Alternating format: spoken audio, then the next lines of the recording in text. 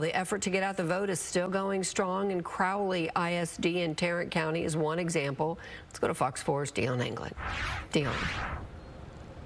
Hi there. Definitely a lesson in civics. Crowley ISD moved classroom instruction outside to stress the importance of voting.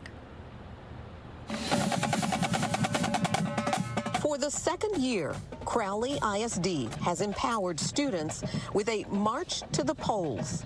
And for Dallas Aguilar, the timing couldn't be better. My, my birthday is today, October 25th, so you know, it's awesome. The high school senior is celebrating his 18th birthday. My family has always been big time voters, and they've always encouraged me to vote as soon as I could.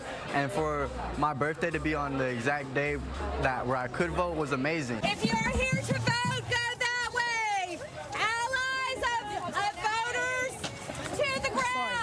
It's a nonpartisan march and rally aimed at getting high school students excited, engaged, and educated about the voting process. Sometimes the greatest thing that we can do is show up. Because when we show up, we give other people the encouragement that they need to do what needs to be done. Before taking to the street, school district officials led the charge. The nonprofit group coordinating the march said the mission is straightforward. Our biggest concern and what we advocate for is voter education.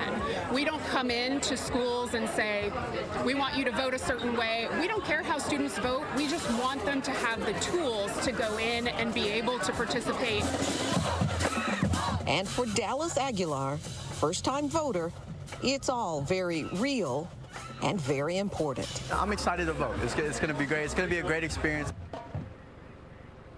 Now, students from three Crowley high schools took part in today's uh, event, and school officials say that each year they are hoping that the number of student participants increases.